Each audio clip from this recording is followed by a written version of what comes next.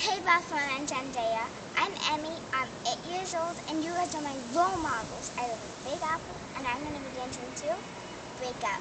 Hope you like it.